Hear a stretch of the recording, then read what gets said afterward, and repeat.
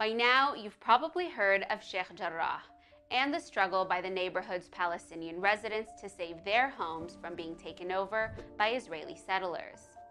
The fight to save Sheikh Jarrah has garnered international attention in recent weeks and has prompted widespread protests across Palestine and the entire world. But just a few kilometers away, another group of Palestinian families are facing an almost identical battle.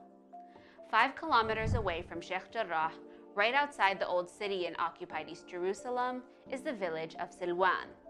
Silwan lies at the heart of East Jerusalem and is home to an estimated 60 to 65,000 Palestinians. It's also one of the most heavily targeted areas in Jerusalem for Israeli settlement activity and what rights groups have called Israel's attempts to Judaize the city. Just south of the Al Aqsa Mosque compound is the Batn al Hawa neighborhood of Silwan. For decades, Batn al Hawa has been the target of a relentless campaign by settler organizations to forcibly expel Palestinian residents of the neighborhood and replace them with Jewish settlers, a process that is entirely legal under Israeli law. You're probably wondering how is this even possible? In short, a right wing settler organization by the name of Ateret Cohanim has been seeking to forcibly evict some 100 families from Batn al Hawa under the pretext that the land was previously owned by Jews more than 100 years ago. Through a series of legal mechanisms sanctioned by the courts, Ateret Cohanim has been filing eviction orders against the families in Batn al Hawa since 2002, with the goal of putting Jewish settlers in their place. And while Israeli law allows for property to be transferred to Jews who claim previous ownership from before the establishment of Israel, that same right is denied to Palestinians who were dispossessed from their homes during the Nakba in 1948. To date, Ateret Cohanim has taken control over six buildings in Batn al Hawa, comprising 27 housing units, units that once belonged to Palestinian families.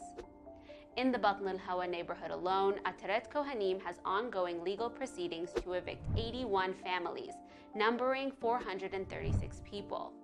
Since 2015, 14 families in the neighborhood have already been forcibly evicted.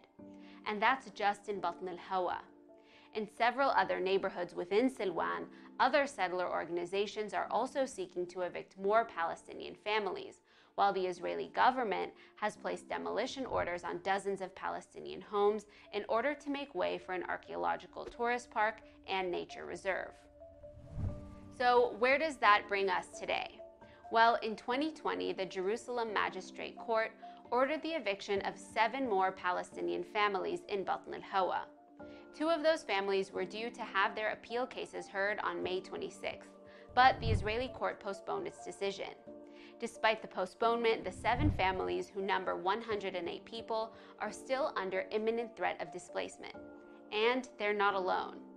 According to a 2020 survey by the UN Office for the Coordination of Humanitarian Affairs, at least 218 Palestinian households in East Jerusalem, numbering 970 people and over 400 children, have eviction cases against them. Most of those cases were filed by settler organizations like Ateret Cohanim. Amnesty International and other human rights organizations have called on Israel to scrap the eviction plans in Silwan, saying that such forced evictions are, quote, flagrant violations of international humanitarian law that amount to war crimes. As their forcible displacement looms, Palestinians in Sheikh Jarrah and Silwan are asking the world to stand up against Israeli apartheid and are calling on people to continue bringing attention to their case on social media using the hashtags Save Sheikh Jarrah and Save Silwan.